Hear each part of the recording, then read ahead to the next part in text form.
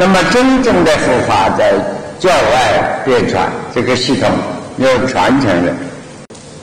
那么佛过后第一位传法的真者马哈迦叶，据佛教的传记现在还在，所以到云南基座山华首门那块石头，大家都去拜，我们这里好几位去过的。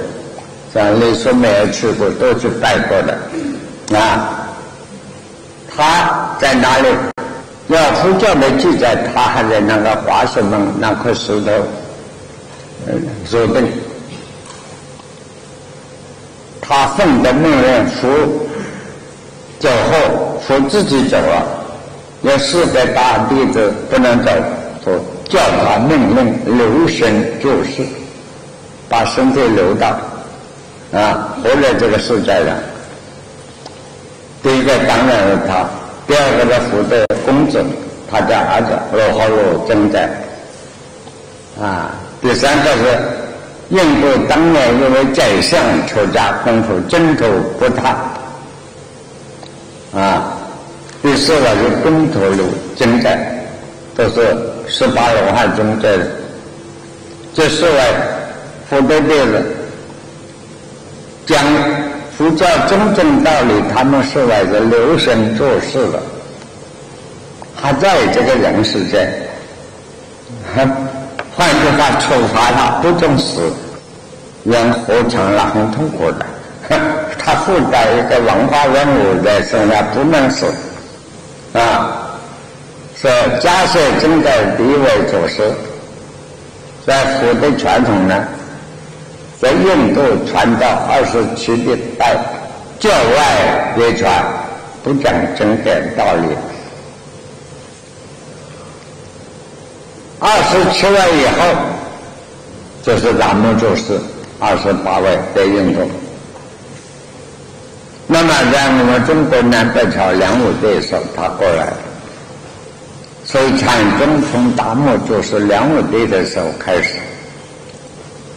刚才下午我大家，我大概给大家介绍一下中国的历史文化的演变。南北朝是第二个战国的时候，这个文化不是充足融汇，这个民族中华民族的融汇啊，少数民族变成中国民中华民族以后。真正的正传，所以当年我说曹操衡量是开放了移民政策，把少数民族放进来，啊，这个西北的，可是呢，曹操没有注意，文化教育没有加上，是后来有南北朝两三百年的。所以历史上叫五胡乱华，可是这些国家民族过来的各种民族，啊，要土耳其人，要土著人，什么都有，现在都变成中国分不开了。中华民族，他们的信仰是佛教。过去我们在陈汉历史上，譬如说秦始皇的时候。就讲到夫人，印度过来的夫人，他是崇拜真人的，崇拜啊，崇推崇这种拜拜的磕头的拜，真人黄真打的人，为什么？这是佛像。陈始皇的时候已经过了了。难道说不晓得这佛教？就像这个佛人都是崇拜真人，铜打的贴做的佛像，那所以这个古书啊融会贯通，因为他们崇拜真人，不像现在人。我知道现在我们中国人在崇拜真钱呢，那真是崇拜真人，啊，一说的佛像。那么这个时候南北朝南哦，这个很闹热，附中的单语由中国老师开始这一百多年最重要的法华经为母经啊，这个用魏晋的三选之首，什么三选呢？我们中国文化易经、老子、庄子这三种中国人。中国的哲学科学的思想，生命科学的思想，等宇宙科学思想中和，中国人自己在魏征以后起来抗拒这套东西，我们自己有一套，加上神仙之学，啊，中国说神仙单道可以自称人受到长生不死，就是人类文化特别的。一个观念，一个人现在的生命可以受到长生不死、神仙的担当，加上三选之学，在南北朝流行的不得了，这个这个文化的争论。那么释迦牟尼佛佛教呢，从鸠摩罗什啊，从福州城到周末时过来，都在关中。统关以西的文化，就看不起关东，看不起统关以东的，只有我们南方这里看到这野蛮人这文化，或哪个文化是冒热捏就起来不得了，这个时代啊，所以到了梁武帝的时候，梁武帝是文人而接军人。我说世界上最可怕的，文人啊接中人的很难的。我们这讲话就是书生带强盗的很难弄。当然现在有人熬过去了。那个强盗带书生的中人接文人好的吧？文人见到中人啊难大了。哼，梁武帝也是这么个人。嗯，他学问很好，他也三选这首都懂，所以真正提倡儒家，他认为中国文化自己本来就有大学，他不管中庸世俗的中庸，那个时候没有讲世俗，世俗宋朝以后的，他特别自己做皇帝，又去布把身体布施给庙子上。啊，他自己把身体供养给和尚，给在大庙子。那个时候大庙子年什么？一个庙子啊，有起码一千两千和尚出家的。为什么过去出家那么多？你知道吗？就等于现在别出火哈。中国财政收入，你念在中国经济啊，卖豆的，难得叫隋唐一直到宋朝，经费不够出卖做和尚，拿王统给你出战，钱很贵，这是一个经济来源，奇怪了，大家也面面对中国经济，那么老百姓有些人。愿意出家了，买这一家都得出了家以后什么呢？不缴税了，也不是要付劳动服务了，犯了法也不追问了，比出国还厉害。说和尚走不走？你看吧，而且得他说什么啊，这个头剃光，中国人都留头发留长的。说卖布袋，布袋就是做和尚的龙盆，苗子要多。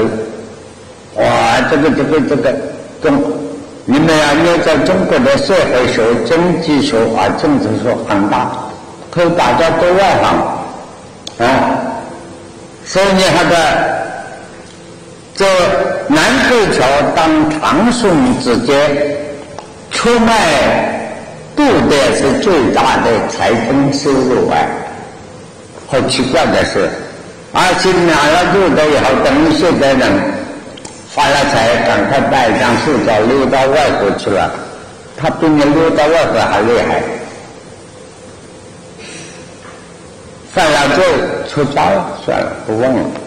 而且出家以后见到皇帝都要跪拜，这是正常的，你这样一下就可以了。他毕竟这样一个身份啊，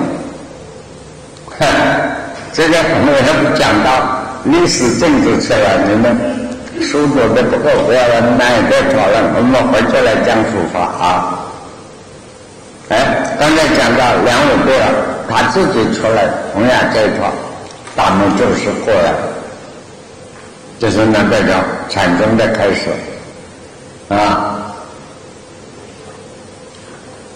但是他们就是来前，魏征南北朝，我们刚才提到中国文化，什么东方壁画、眼光石刻啊、龙门什么石刻，这些是什么人干的？都是五胡乱华的人干的。都是北魏的北方的，南方的两武对他们是庙子，受这个佛教影响，也推广了不及黄河以北，尤其是陕西、陕西到山西一带，那个子兴旺。而这些背后的皇帝是什么？都是皇太后干的。背后的萧太后都是女老板、女皇帝当家的啊，都有在这样修了很多的佛像庙子。是中国文化，我常说大学里面都是女人保留的，我们男人好像毫无出息啊。都有点文化，都是萧太后这么这几代的太后干的啊。你看昆仑大将，大将收花了的钱，昆仑搞哎，中国好奇怪的故事。而这个时候呢，西方文化正式形成了罗马教徒，特别叫进入黑暗时期。所以在中西方两个比较，西方文化八九百年、七八年的。天主教的，什么西方人那个文化是叫黑暗时期，是我们的传统文化开花发展的事情，正好一个对比。所以中西文化大家那个，哎呀，那你说这些哎，对不起了，你们这些海归同学们，做了一个外国皮毛，以为懂得文化，中国自己的毛皮都不懂。很可怜，嗨，对不起，我要上客户骂人了啊！哟，叫我停止了，好吧？这个，那么达摩就是过来禅宗。那在达摩祖师以前有没有禅宗呢？有，教外别传，达摩祖师的徒子已经来了。他师兄师兄弟的徒弟啊，叫他们都都有已经来传了小乘的修持的功夫了，手法。那么在他以前呢，魏晋的时代有没有？有，已经有打坐修行，很快怎么成佛得到了法门有了。那么我们要念咒了。释迦牟尼佛一辈子讲经说法，他传我们修持的功夫。后世说啊，这个派那个法门还有密宗了，密宗还有红教，红教以后变花教，花教以后啊变白教，白教以后要黄教，我都学过的。告诉你，不大学过，我都是上师。不过不喜欢讲这个东西，然后跟你们讲太复杂了，你们？啊，这些都是后来的话呀，都是禅里头变出来的。那么你念着释迦牟尼佛所有的正德，他一生教了大家修持的什么法门？你从小乘中四阿海开始，只有两个法门，叫二甘露门，一个是阿罗波呼吸法，一个呢是百过关，不仅要一百过关。他的弟子们现身成就，几生成就，正在阿罗汉得到包括加学中的大家。都是走这两个路线。后来的什么密宗，什么各种收气、收卖、各种花样，实际上是这两个方法把它套上许多的外衣啊。那么要注意了啊，讲到安乐波呼吸法的手法。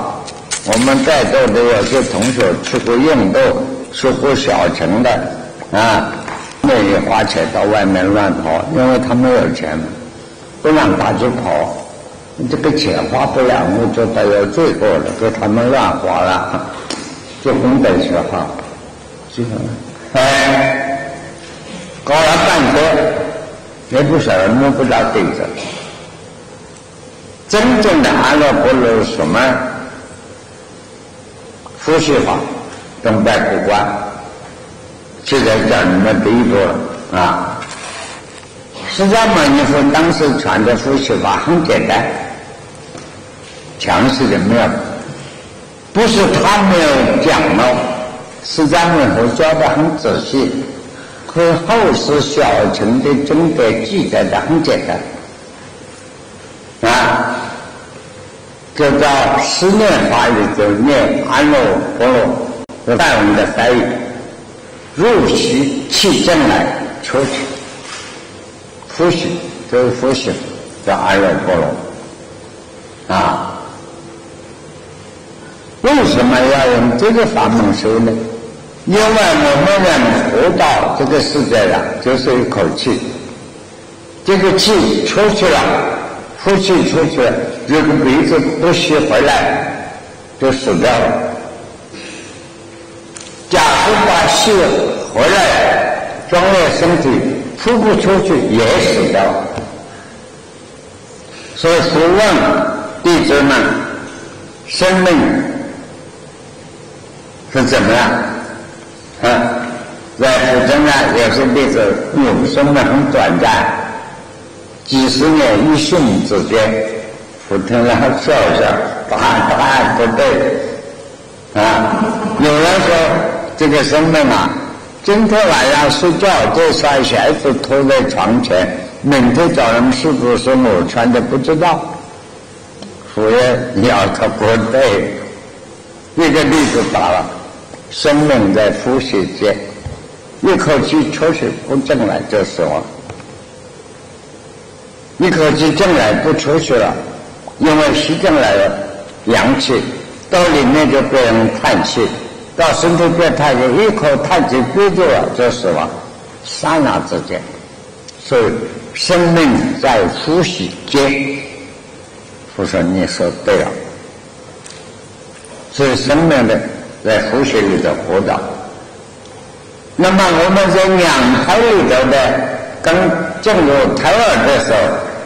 自己不会呼吸，靠脐带带到母亲啊，在呼吸，不是自己这个胎儿在呼吸，是母亲的呼吸影响到脐带这里，关键了也在呼吸着，所以母子连生，这个是呼吸法，这个原则。